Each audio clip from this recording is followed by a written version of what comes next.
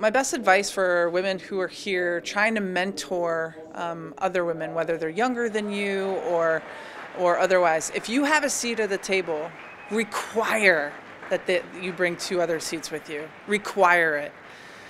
Too often are we so comfortable in our own lane, in our own in our own seat. Um, if I if I speak up, I'm going to lose my seat. If I'm going to lose my spot here.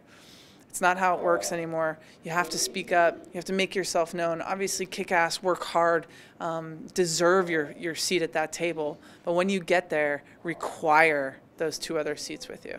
This is a shout out to all the BT women in tech. Um, you know, I think it's so important that as much as you are in a quote unquote man's world for now, um, you have to be rewarded and celebrated that yes, some days you're walking into work and you may not see another woman until you um, go to lunch um, across the street.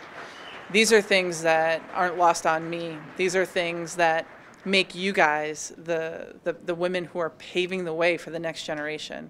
Thank you for what you do. Keep doing what you do. And like I said, require those other seats at that table that you're at.